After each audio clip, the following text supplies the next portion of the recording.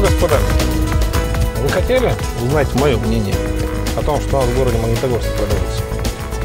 Ну, раз хотели, я вам скажу, что у нас продается в большинстве случаев полный отстой.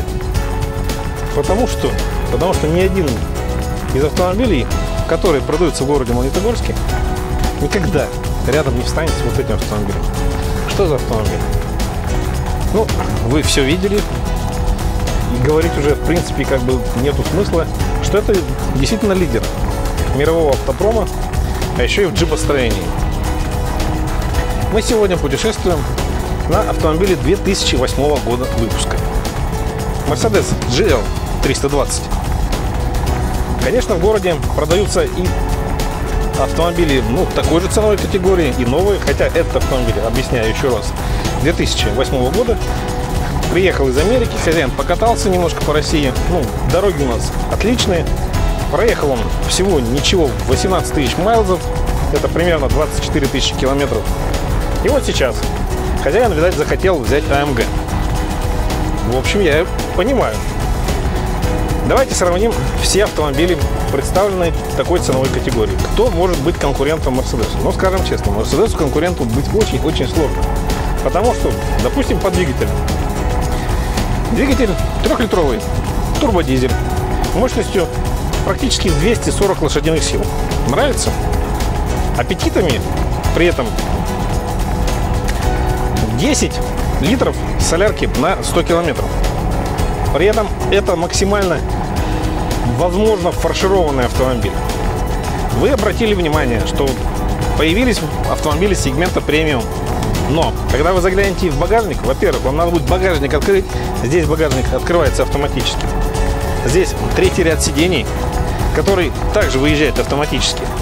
Причем вы можете опционно их управлять выдвижением с заднего сидения или, допустим, из багажника. Кроме всего прочего, здесь стоят два люка. Это для того, чтобы вы смогли на этом автомобиле выехать на поле, а на поле мы сейчас буквально выедем, погонять, и вы поймете, что такое Мерседес. Так, это мы начали с багажника, хотя правильнее было начать, ну, со штурвала. Мерседесы собирать в России не будут никогда, это однозначно. Мерседесы продавать в Магнитогорске вряд ли кто будет, потому что, извините, сейчас надо склад иметь на 2,5 миллиона евро. Да, сейчас в Магнитогорске.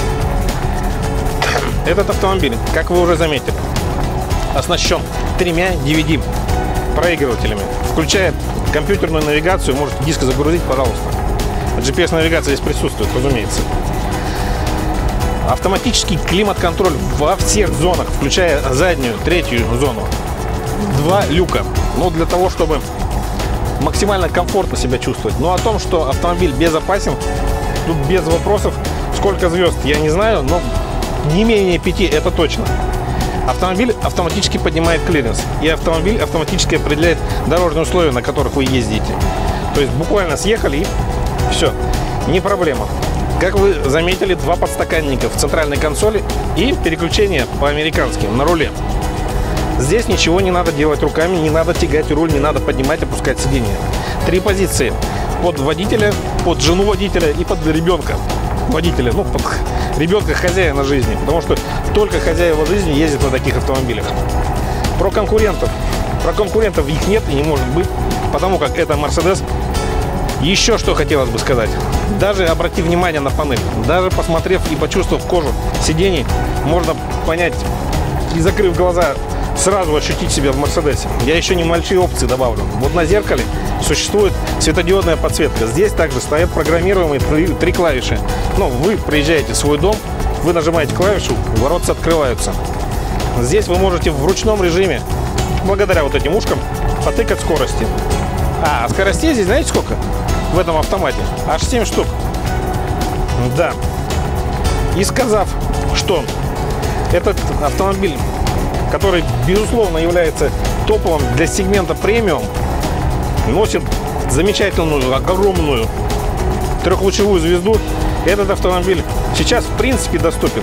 И вы можете его купить по любой из лизинговых кредитных программ, потому что, еще раз говорю, машина 2008 года выпуска. Ну а теперь самый серьезный тест, который мы решили устроить. Это тест по тому, как машина умеет ездить по бездорожью. При этом обратите внимание на положение камеры. С какой скоростью мы сейчас едем? По полевой проселочной дороге. 8, ну, прошу прощения, 60 км в час. У нас редкий автомобиль по асфальту себя так ведет. Мягко и авторитетно. При этом, ну да, в общем, есть у меня один товарищ, который хочет купить премиум автомобиль. Я вам все-таки посоветую купить GLO. Потому что, потому что действительно на этом автомобиле с трехлучевой звездой можно спокойно выехать на поле. Ну, что мы сейчас и делаем.